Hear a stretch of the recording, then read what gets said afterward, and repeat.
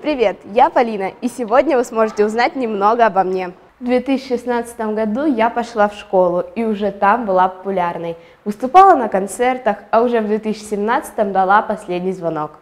Возможно, вы спросите, что я больше всего делала на концертах? А я отвечу, что обычно я пела или рассказывала стихи, и поэтому пошла на вокал в театральную студию в Дворец детского творчества.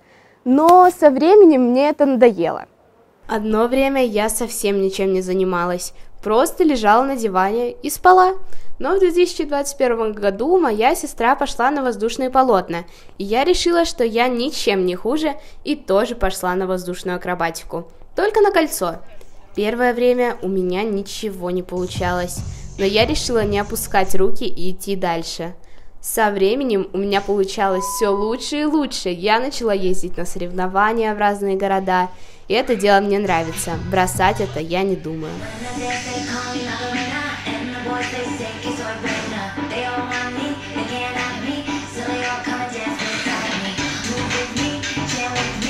Какие положительные качества? Отзывчивая, добрая, старательная, а, трудолюбивая. Вот. Что могу еще сказать? Самое главное в спорте это трудолюбие и желание. Самое главное желание и целеполагание.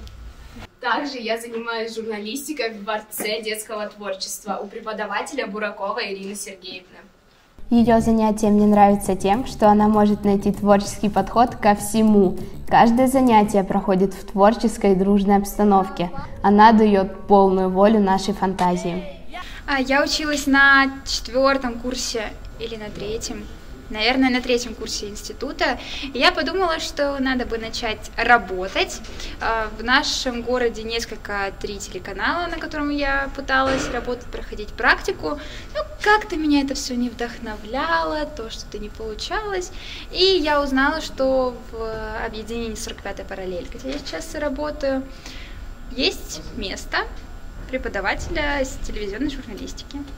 Два этих дела показали настоящую меня. Я поняла, что могу намного больше, чем мне кажется.